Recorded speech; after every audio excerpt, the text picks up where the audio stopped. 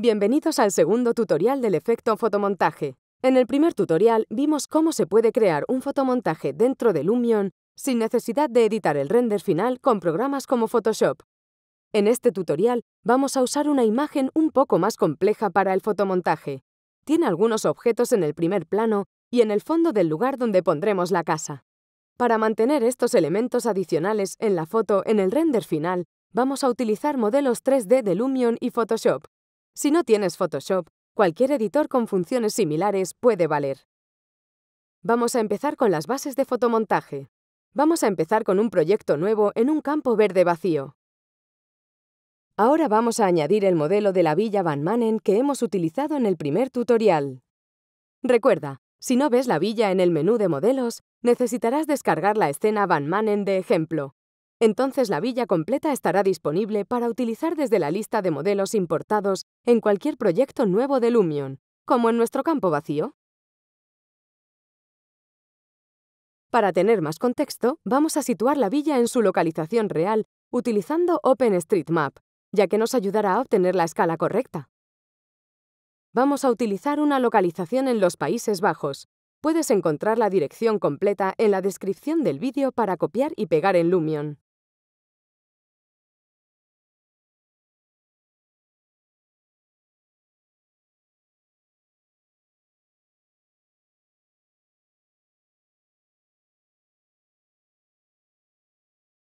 Vamos a esconder el objeto que aparece aquí, ya que será reemplazado por nuestra villa. Podemos situar y rotar la villa para colocarla bien.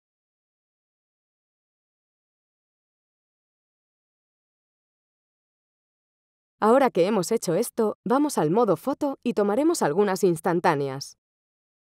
Añadimos entonces el efecto de fotomontaje a nuestra lista de efectos. El primer ejemplo por defecto es una foto aérea, similar a nuestra propia foto, así que podemos dejarla como está. Ahora vamos a cargar la foto que vamos a utilizar. Si quieres seguirme con la foto que estoy utilizando, tienes que descargarla con el link en la descripción del vídeo. Coloca las líneas de ejes rojas y azules como hemos visto en el primer tutorial. Por suerte, la casa de esta foto tiene una forma casi rectangular, así que podemos utilizar sus muros como ejes para fijar la perspectiva. Recuerda, puedes utilizar el cubo o la malla para ayudarte a guiar las líneas. Vamos a colocar el punto de ancla del cubo en esta esquina de la casa de la foto, lo que indicará dónde se cargará nuestro modelo. Haciendo clic en Situar el punto de referencia, volvemos al modelo de Lumion en OpenStreetMaps, donde tendremos el punto de referencia en el mismo punto de la villa. Después de confirmar, el modelo se cargará en la foto. Rota y escala el modelo hasta que encaje en la foto. Como puedes ver, puedes utilizar los objetos del OpenStreetMap como referencias para obtener la escala correcta. Utiliza la base de estos objetos como referencia, ya que la altura en OpenStreetMap no es siempre correcta. Pulsa Shift mientras ajustas el deslizador de escala para mayor precisión. Ahora que queda bien, podemos volver al modo editor y ocultar los objetos de OpenStreetMap para que no aparezcan en el fotomontaje. No te preocupes si el tamaño de la casa es mayor que la que está en la foto. Veremos algunos consejos para arreglar cosas. Se tapan con el modelo como arbustos y árboles de la foto. Ahora es el momento de editar los efectos de iluminación que estamos utilizando en el modelo 3D. Parece que la foto se tomó en un día nublado. Vamos a descargar el estilo nublado.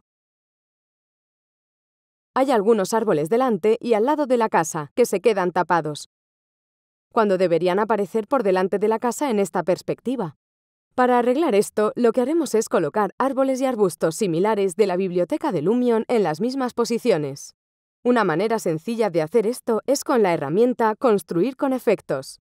Selecciona un árbol parecido a los que están en la foto justo delante de la casa. Por ejemplo, European Aspen XL. Vamos a colocar uno, y volveremos al modo foto para ver cómo queda en el fotomontaje.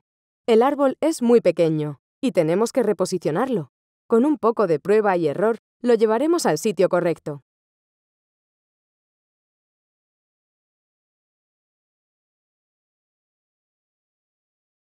Con Shift Alt, haz dos copias del árbol. Gira y escala cada uno para que sean un poco diferentes entre ellos y parezcan más reales. Haz lo mismo con los arbustos del lado de la casa. Como están en una línea recta, puedes utilizar la herramienta de colocar en masa. La línea gris de la carretera a la derecha de la casa es un poco larga para la foto y cruza a la parcela de los vecinos. Esto probablemente necesite ajustarse con el software de modelado 3D. Mirando el render de previsualización, creo que es un buen comienzo. Pero ahora vamos a hacer algo más para que se fusione mejor con la foto. Podemos ver que el color original de la foto es un poco azulado. La villa de Lumion tiene un tono azulado también, en lugar de blanco. También hay una parte de la vivienda pequeña que aún se ve. Esto lo resolveremos después en Photoshop. Antes de eso, vamos a retocar y añadir más efectos de Lumion para hacer que la imagen se funda con la foto un poco mejor. La nueva villa se ve un poco afilada en comparación con el resto de elementos de la foto. La vamos a suavizar levemente con el efecto de profundidad de campo, poniendo la distancia focal diferente a la distancia real. Por ejemplo, la podemos poner a la mitad, la puedes medir utilizando la opción de enfoque automático y luego jugar con el deslizador para llegar a un nivel de desenfoque similar al de la imagen. La villa también está un poco oscura en comparación con la foto. Vamos a añadir un cielo real nublado. Después aplicaremos algunas correcciones de color para hacer la luz similar a la de la foto. Para aclarar la villa, vamos a configurar un límite alto con el deslizador, casi al máximo. Con 7 debería ser suficiente. Vamos a renderizar a ver cómo queda. Lumion renderiza no solo el fotomontaje, además una máscara de fotografía y el modelo sin la foto. No vamos a utilizar estos extras en este tutorial, pero lo veremos en el siguiente. Ahora vamos a trabajar con Photoshop u otro editor de imágenes para hacer algunas correcciones. Vamos a necesitar editar la foto original e importarla de nuevo en el efecto fotomontaje cuando esté preparada. Carga la foto original en Photoshop. Desbloquea esta capa. Haz clic en Ajustes y luego Brillo Contraste y aumenta un poco el contraste. Haz clic en Matiz Saturación. Selecciona los tonos azules de la caja de color y baja un poco la saturación. Haz lo mismo con los magentas. Y con los colores básicos. Haz clic en las curvas y ajustalas así.